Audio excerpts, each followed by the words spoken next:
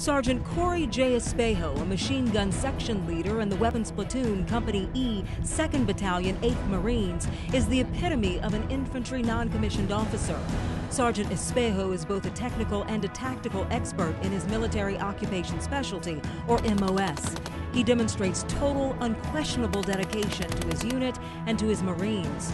Through his tireless work ethic and his ability to maximize the focus and efforts of his Marines, he has directly affected the successful development of his platoon's capabilities on standards based infantry training. Sergeant Espejo distinguished himself amongst his peers when he was assigned a team leader billet during the workup of the deployment of the 2nd Battalion, 8th Marines.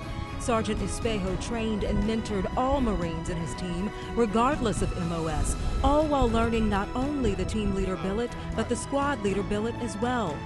Sergeant Espejo's accomplishments and his determination to be a positive, professional influence on every Marine with whom he interacts exemplify the core values of the United States Marines honor, courage, commitment. Since I was a kid, I was always the one playing with the, uh, you know, the G.I. Joe action figures and playing the war games. So it's always something I wanted to do. Um, definitely knew I was the right person to do it. So when I had the opportunity and I was eligible to do it, it I felt like it was the right time.